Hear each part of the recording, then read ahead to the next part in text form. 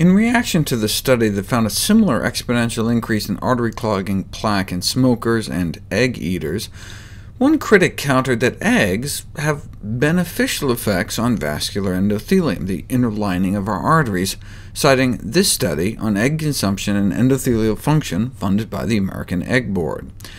It was done on a group of men and women eating the standard American diet, overweight, uh, normal cholesterol, which is to say extremely high cholesterol, LDL levels twice as high as could be considered optimal. See, it's often not appreciated that the average blood cholesterol level in the United States, the so-called normal level, has actually been abnormal, accelerating heart disease and putting a large fraction of the so-called normal population at a higher risk for coronary heart disease, our number one killer.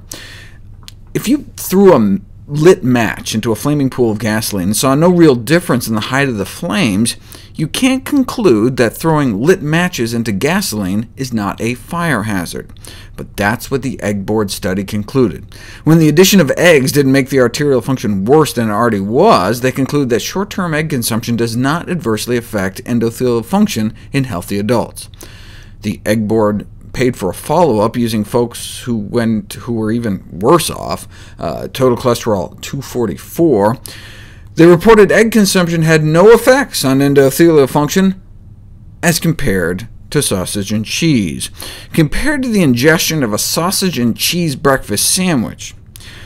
Yet instead of sounding the alarm that eating eggs is as bad for arterial function as a McDonald's sausage McMuffin, they conclude egg consumption was found to be non-detrimental to endothelial function, and cholesterol as well. They started out with a life-threatening cholesterol, ended up with a life-threatening cholesterol. Why didn't it get even worse? Because there's a plateau effect. You can basically max out on cholesterol absorption. After a certain level of intake, it's just another match to the fire.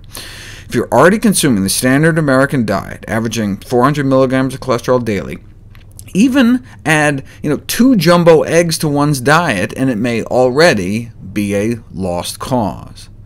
But in people trying to eat healthy, those same two eggs could shoot their cholesterol up 20 points, whereas a fat-free, cholesterol-free egg substitute was beneficial. So not eating eggs lowered cholesterol levels.